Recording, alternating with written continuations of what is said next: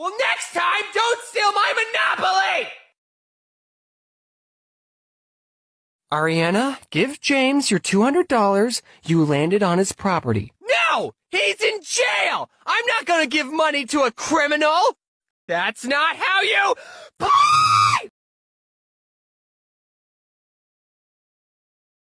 Mommy, why is brother screaming? Shut the f up, Sally. You don't get to talk after stealing my last railroad! I wish I was never born! Me too! You think I!